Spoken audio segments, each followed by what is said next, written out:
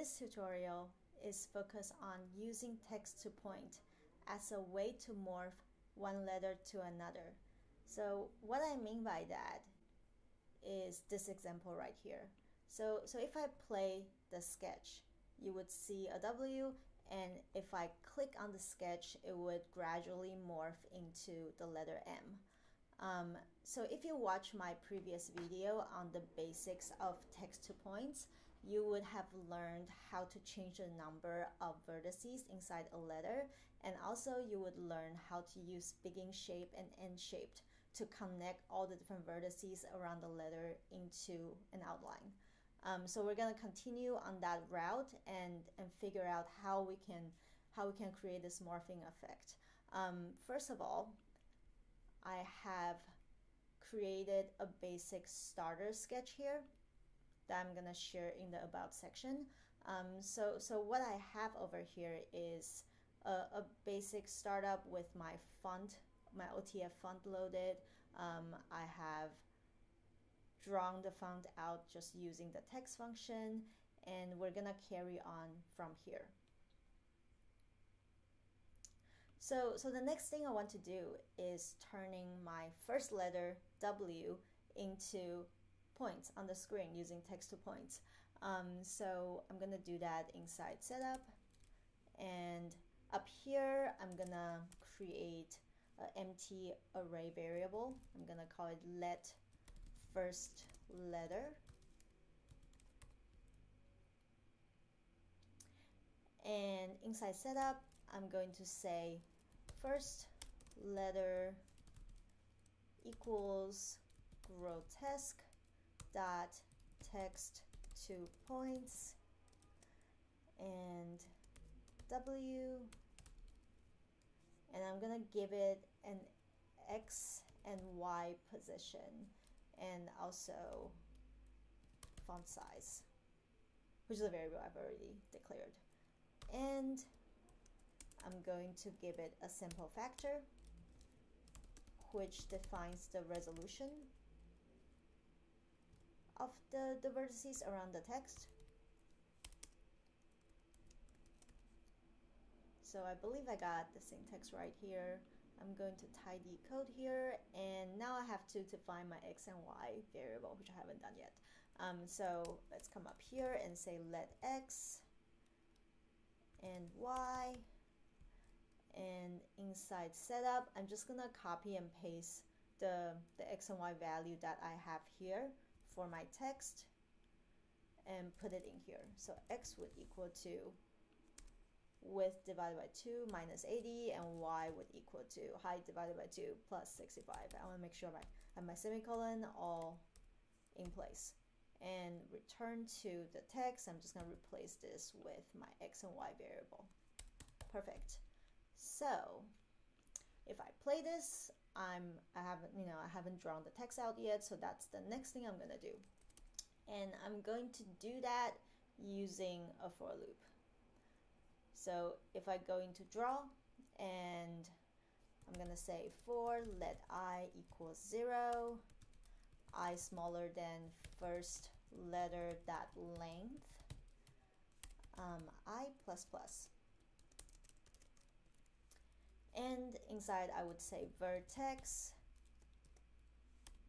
Vertex. First letter i dot x. And first letter i dot y. Okay if any of this part doesn't make any sense to you return to the first video and and review this topic again. Um, so I have this this uh, basically a for loop that like draw all the vertex vertices out using taking from like the, the x and y array from my first letter text to point array. Um, before this, I'm gonna write begin shape and end shape.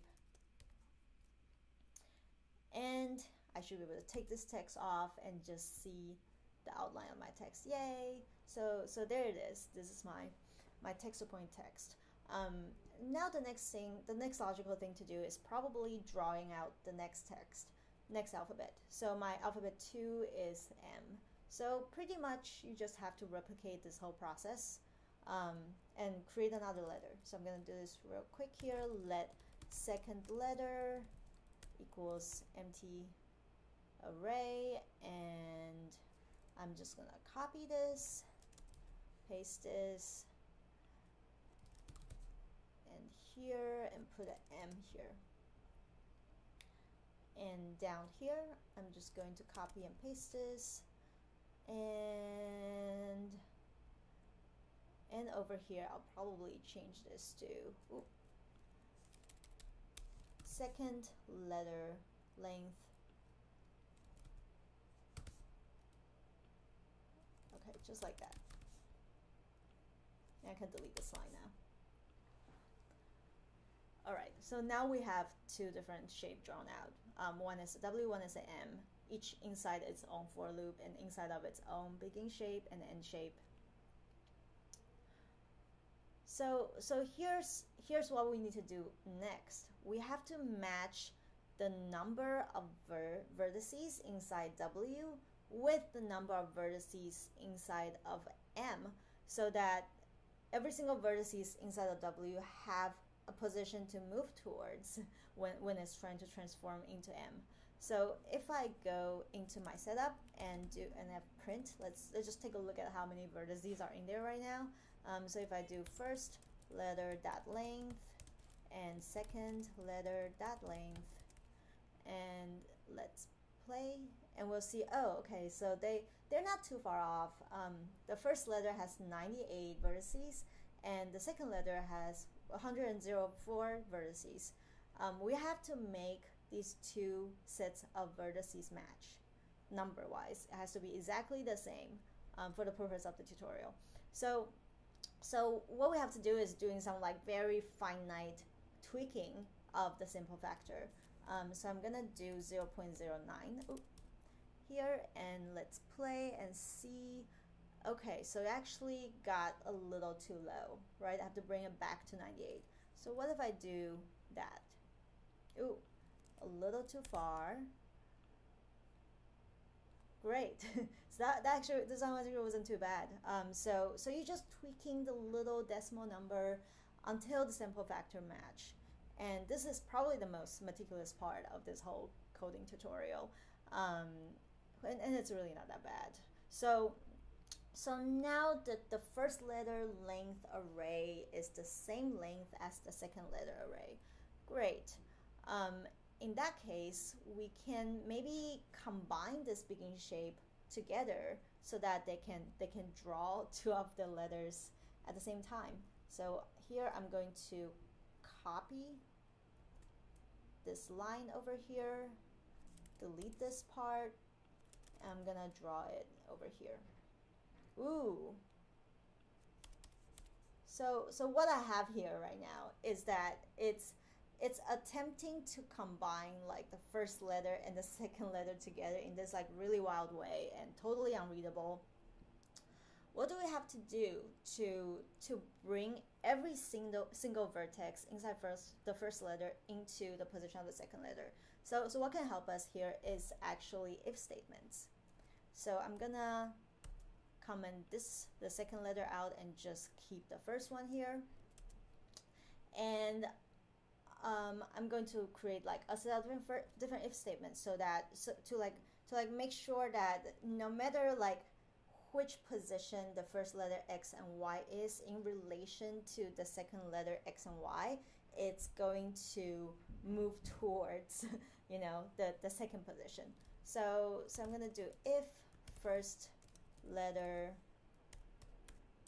x if it's smaller or equal to the second letter x, right? If the first letter x is smaller than the second letter x, then the first letter x should plus. It should go towards it. So we can try to play this out. Let's play it and we can see, oh, cool, a set of x's that are smaller than the second letter x's have moved towards it. Um, and that's obviously not enough. We have to move the rest of the letter towards the second letter. So, so I'm basically just gonna do the flip side of this statement. So I'm gonna say if first letter X is bigger than second letter X, then it should go minus minus. Right, almost there. And now we have to do the Y part.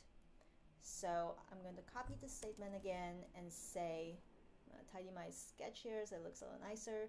Um, if first letter Y is bigger than Y, then it would it would go towards it and mirror this again the other way around.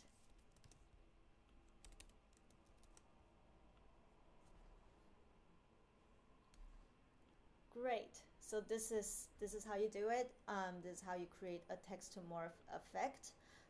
After creating this basic version, you can try all different kind of variations of this, right? So, so we have this like basic like outline morphing version. We don't necessarily have to do that. We can, let's comment this out.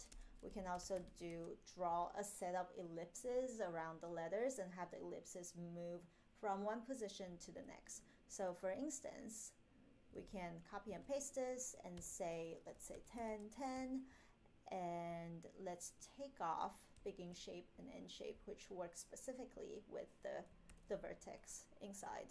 Um, so if we, for instance, we do ellipse, this is this is kind of like almost like a pearl necklace kind of effect that we get, right? Um, we could also do something such as like combining this with translate.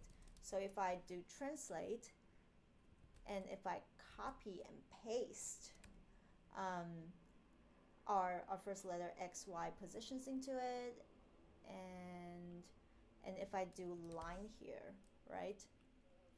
If I do, let's say 0, now if I say minus 10, minus 10, 10, 10, and let's play, we have to remember to add our push and pop. So if we do it like, like that, then we'll see a set of outlines that, that morph from one position to the other. So that's it for text to point and morph. Um, I was really inspired by a couple of different videos I watch on YouTube before making my own version of the tutorials, and I'm, I'm going to link them right here on the screen.